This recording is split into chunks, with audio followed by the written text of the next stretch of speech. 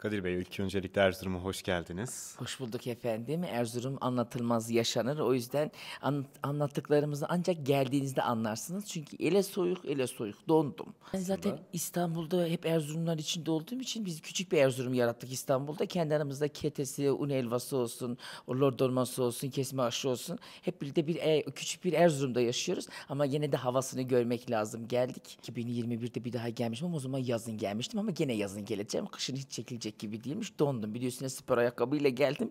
Yemin ederim iki saat bileklerimi ısıtamadım. Ee, Kışın gelince daha ıssız oluyormuş. Sokaklarda çok fazla insan yoktu. Bir de Ramazan'a denk geldiği için e, çok güzel. İnsanlar sıcakkanlı. Ondan sonra zaten Erz Kadir Ezildi olarak hep bir Erzurumlu biliniyorum ama aslen Konyalıyım. Anne tarafım Bayburtlu olduğu için bir de biz evde de hep böyle şiveli konuşuyoruz. Ne yedirsen, ne yambadı sen neredesin, ne yedirsen işte bu akşam nereye gidersiniz. O yüzden hep Erzurumluymuşum gibi algılanıyor.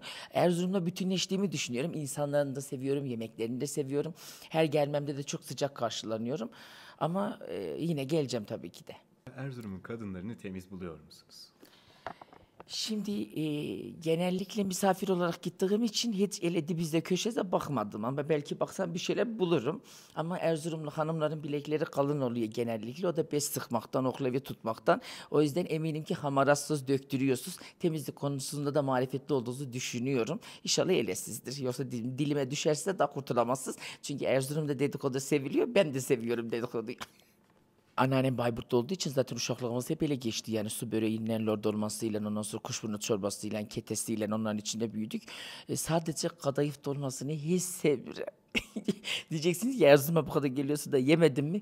Bir kere yedim çünkü kadayıf dolması çok böyle hoşuma gitmiyor ama çok lezzetli olduğunu söylüyorlar, rivayet ediliyor.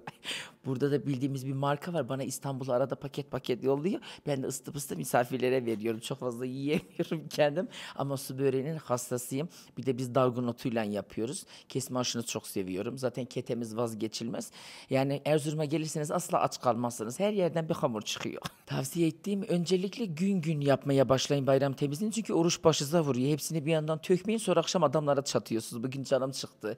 Daha benden bir şey bekleme, yemek bekleme diye. Ön- Öncelikle mutfak dökün. Bir gün sadece mutfak. Ondan sonra sırayla o da o da o da. E zaten çok kalabalık aileleriz. Erzurum'da da çok geliş gidiş var. Bayramdan sonra gene batacağız zaten.